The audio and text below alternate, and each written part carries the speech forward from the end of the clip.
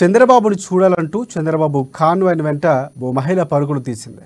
విజయవాడ కూటమి ఎమ్మెల్యేల సమావేశానికి వచ్చిన చంద్రబాబును చూసేందుకు ప్రజలు పెద్ద ఎత్తున రోడ్ల మీదకు వచ్చారు.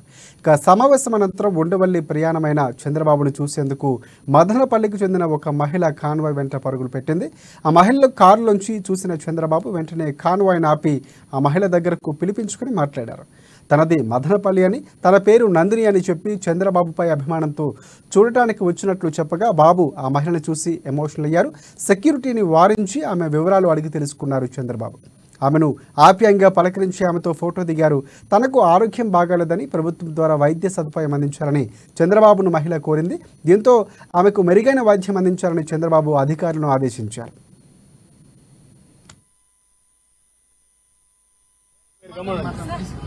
నేను రెయ్యం పనులు కష్టపడ్డాను సార్?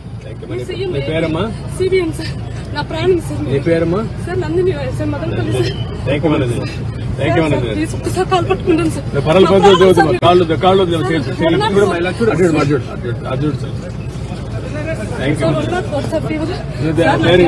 హాస్పిటల్లో చూసుకో మెడికల్.